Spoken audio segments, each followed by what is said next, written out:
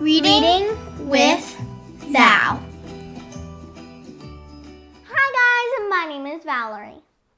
This month, October, is actually the Filipino American History Month. There was a giveaway by Mary Miranda Cruz. She wanted to give away three books written by Filipino American writers, and all of the books I really, really love.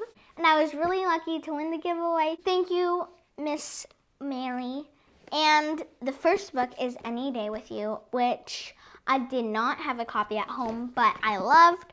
It is by Mae Respicio and How to Make Friends with the Sea. This book is by Tanya Guerrero. And finally, the book I'm going to be reviewing to you today, Everlasting Nora. And this book is by Mary Miranda Cruz. She uh, wrote a note and uh, she signed her signature.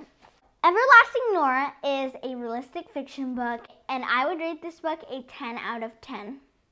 In this book, Nora lives in the Manila's um, North Cemetery, and it is the largest. Uh, it's the largest shanty town in the Philippines, and this is what Nora looks like. Well, why is she there? Her uh, family got in a tragic accident, accident and um, their house burned down, and so Nora's dad. So Nora and her mom have to work, um, have to live at a uh, cemetery. Nora and her mom both work for a lady, and they're cleaners for the, that lady and her family they make just a little bit of money from that. Um, her mom, she loves Nora as much as she does. She is not that responsible um, of taking care of their money. And her mom is addicted to gambling, like addicted. And this game that they uh, that her mom plays is called mahjong, and I'm familiar with it because my family plays it for fun, not for money though, um, just with each other, and it's uh, really fun. There's a part that I want to read to you that is a paragraph that I noticed about money. Here it is. Most of the time, she lost all the money she bought with her to the mahjong game, which was usually half of whatever we made on a washing job. She'd come home at dawn, irritated, muttering to herself as she crawled under the kulambo to lie down. I'd keep my back to her and pretend to be asleep, relieved that she had come home. There were times when she did win, but it wasn't what I would consider winning big. Instead of saving it, Mama would go out and spend it on silly things like a fancy pair of sequined Bombay slippers for herself or a plastic Hello Kitty coin purse for me. I have to look decent enough so they'll let me play, you know, she'd say as she admired her, the new pink cotton dress that she bought with her winnings. I'd frown and tell her it looked expensive. And um, that's basically saying that her mom is not at all responsible for taking care of their precious money, which they have very little of saving money and especially when you're in financial trouble is really um, key and it really important. And her mom i'm not saying that she's a bad person she's an amazing person but sometimes she just she doesn't know how to care to nora. Um but anyways one day her mom just leaves for a game, like a mahjong game, and Nora, like this happens a lot, so Nora doesn't say anything about it.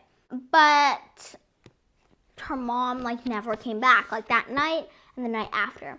She has a friend, and his name is Jojo. He's 13, and he lives with his aunt, a relative of his, um, and called um, Lola Mercy. And they live together in the same neighborhood.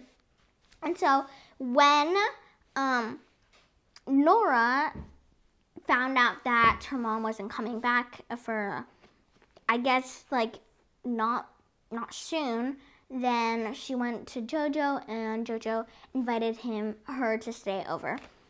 And Jojo is super super nice. He's super funny. And there's a really dangerous character in this book that I absolutely hate. His name is Tiger. Tiger, he works for a guy who's really wealthy. He had a he has a record of beating people up, killing people, uh, and like whatever, like bad. One thing that is really important to JoJo is that Tiger actually killed his best friend, and he always hated Tiger so much. And they've had a couple of times where they met in this book. I'm going to uh, show you one. Jojo covered his nose with his hands, blood dripping through his fingers. Um, and then a hiss escaped from Tiger's clenched teeth. His eyes and nose were pinched together in anger. He stood over Jojo, a wicked grin spreading on his face when he saw the blood oozing out of Jojo's nose. You're gonna regret you ever tried to mess with me. He kicked Jojo in the stomach. Jojo curled into a ball, and Tiger began kicking, kicking him everywhere his back, his head, and his legs. Oh my god, he's gonna kill him. I had to stop this. But what could I do? And, um, ah, jeez. I do not like reading that out loud because when I actually see the mind moving in my head of like a 13 year old boy and like 20 year old person or up kicking JoJo like really powerfully. It's really sad. I don't know. JoJo's a really nice person.